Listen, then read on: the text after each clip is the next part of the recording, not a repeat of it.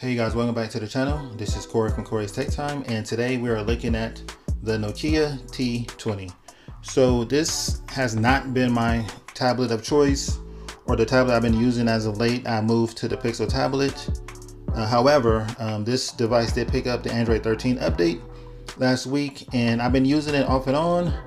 And I must say that the update is welcomed, um, but it hasn't done much in way of, in terms of like just with the performance performance still seems a bit sluggish to me. It's it is okay. I mean this is a budget tablet so um, you do have to keep that in mind.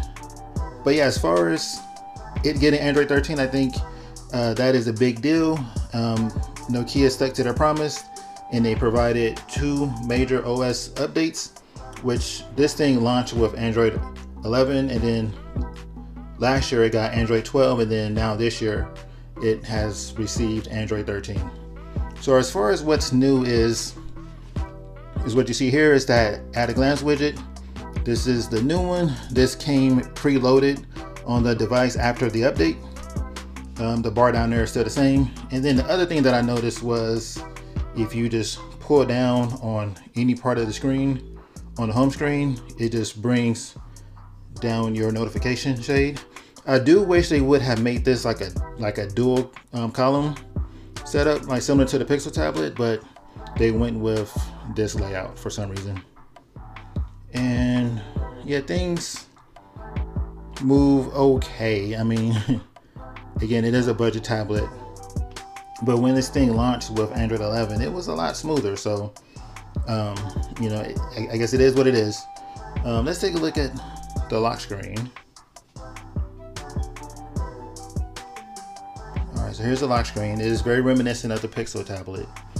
Uh, nothing really new here um, outside of they finally fixed the date here. This was for some reason within that lock and they finally fixed that. Um, and it only happened when it was in this portrait or me or this landscape orientation. And that's pretty much it. I mean, you got the same. Yeah, that's the same.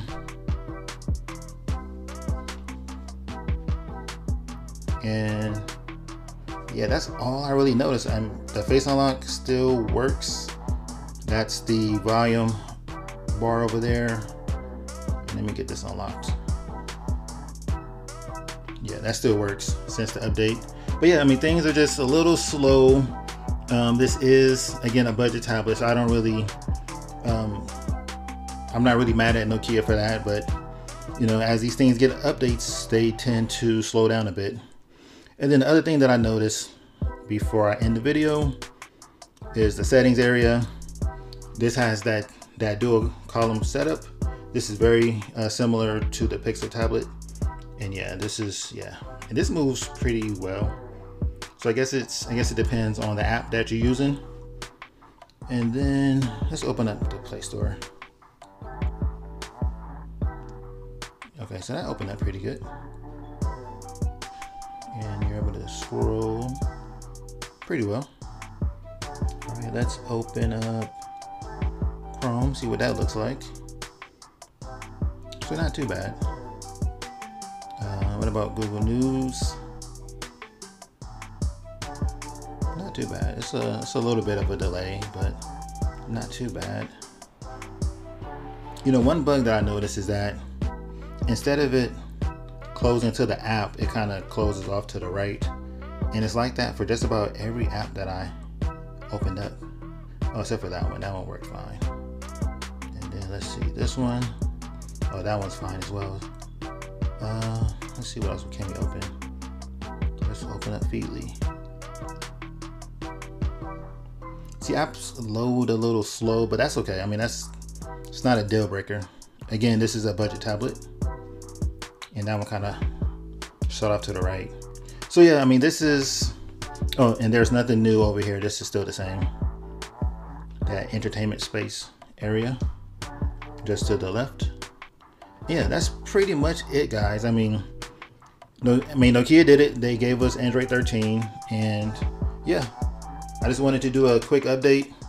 Uh, performance is okay um, since the update, and yeah, I mean, I'm glad that they did it. I mean, I guess that's the main thing here, right? So that's it for the video. Comments or questions, feel free to leave those. And until the next one, peace.